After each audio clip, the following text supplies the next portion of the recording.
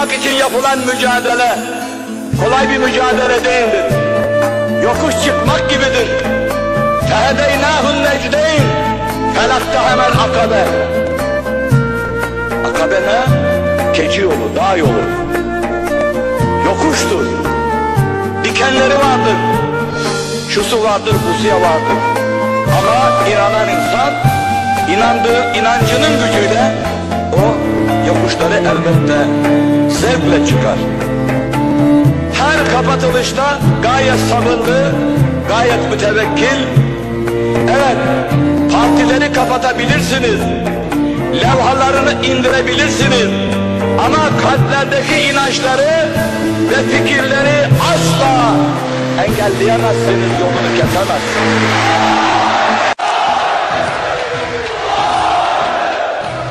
Kırk yıllık siyasi hayatın içerisinde 15 yılı serbest, 25 yıl yasaklı. Bu davayı böyle bir ortamda götürdü. Allah kendisinden razı olsun. İslam davası biraz önce Oğuzhan Bey kardeşimizin de ifade ettiği gibi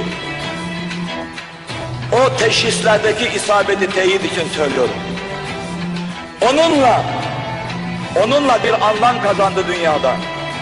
Eğer bugün İslam Birliği diye bir söz varsa İslam Birliği sözünü ilk dile getiren Erbakan hocamızdır. İslam ortak pazarı diye bir söz varsa onu ilk dile getiren Erbakan hocamızdır. İslam dinarı diye bir kelime varsa Erbakan Hoca konuşurken ondan ilham alarak Avrupa'nın dolar karşısında euroya geçtiği bir vaka varsa o İslam dinarının ilk ifadesi Erbakan hocamızdır. Siyonist Birleşmiş Milletler karşısında İslam devletlerini kurtarmak için bir araya getirmek için İslam Birleşmiş Milletleri diye bir söz bir kavram varsa D8'le onu fiilen gerçekleştiren hem de hükümetten istifa etme noktasındayken gerçekleştiren lider işte Erbakan hocamızdır. Allah'a sonsuz hamdü senalar olsun. Böyle bir lidere yardımcı olmak kulluğun en büyük hazinelerindendir.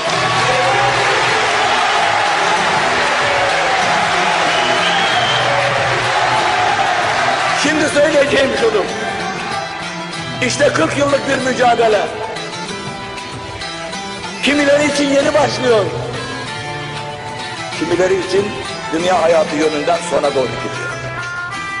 Biz hepimiz faniyiz. İdealler ortaya konulmuş. Yaşanabilir bir Türkiye.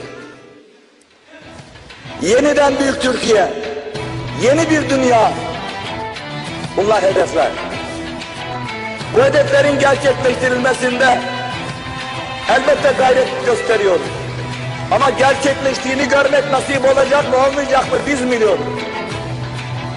İşte bu fani bedenden bu can girince bu hedefler vardığınız zaman, varmak için koştuğunuz zaman eğer biz dünyada değilsek arkamızdan koşun gelin cesetlerimizin üzerine basın geçin.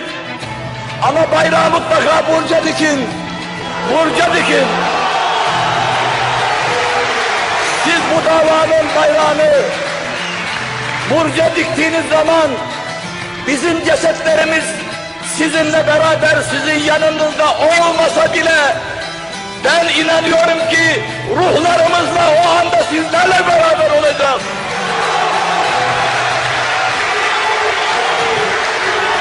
Söze gerek yok. Hepinize saygılar, sevgiler diliyorum. Milli görüş davası yolunda nice mutlu günlere, nice zaferlere nail olmamızı Cenab-ı Hak bize lütfetsin diyorum. Selamun Aleyküm.